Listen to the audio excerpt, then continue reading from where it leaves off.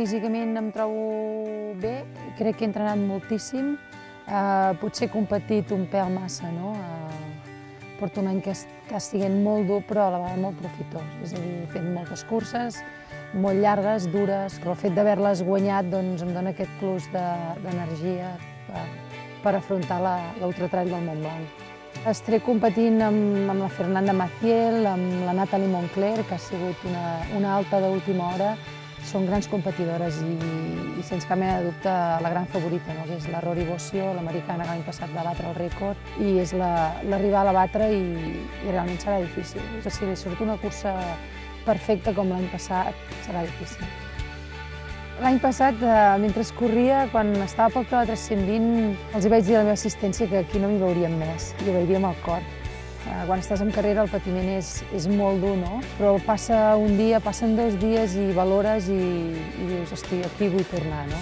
Penso que els primers 70 quilòmetres es corren amb les cames, la resta es corren aquest. L'assistència tinc, tinc el Pau Zamora, segurament que m'estarà el dia al Ràfols, com sempre, i, i l'Alba, l'Alba Pallàs, que em faran molta companyia, és el meu equip de suport. Ara estem preparant les últimes coses d'última hora, com és el menjar, el beure, si falla el menjar, paga que, que vas cap a casa. Nosaltres estem allà doncs, per, almenys jo, per intentar fer la meva cursa, fluir, córrer, pensar que estic aquí i estar aquí és un premi i el resultat vindrà sol. No? Com va dir l'Emma l'any passat, aquesta cursa s'ha de portar al cor. Si penses en els números, penses en la distància, eh, segur que no l'acabes. Un ultratrail és com la vida mateixa, no? Eh, tens moments bons i moments dolents. Els moments bons són molt bons i els dolents els has d'intentar superar com sigui. És una lluita, és com si entres en un camp de batalla i no saps el que et passarà i has de tenir les armes necessàries per lluitar contra les adversitats.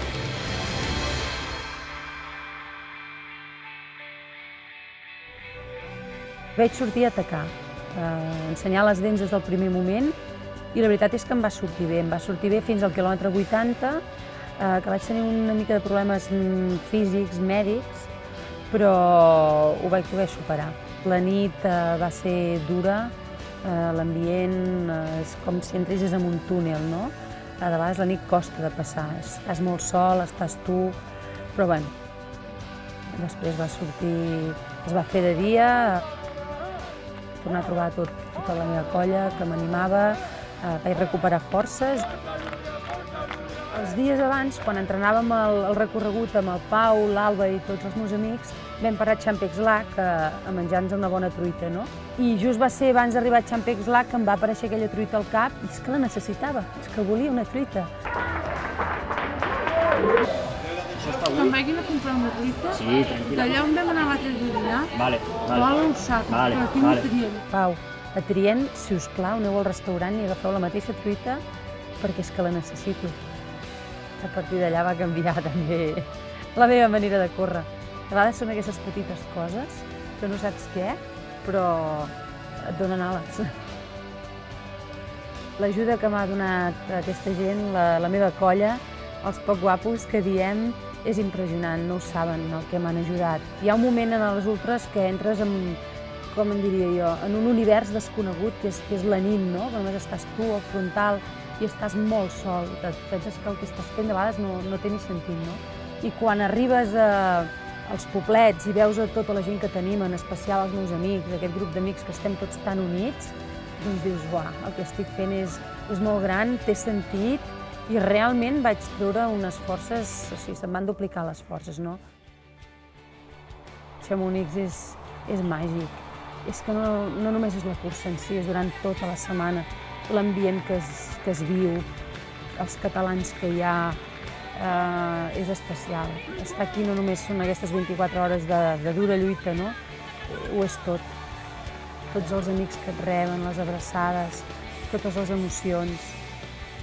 Imagina't guanyar. I estic contenta eh, de, de fer segona perquè penso que sempre hem de tenir un somni.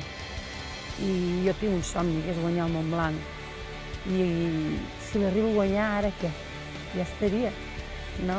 S'ha de tenir una coseta sempre per, per lluitar, no? I estic contenta perquè aquest somni encara està allà.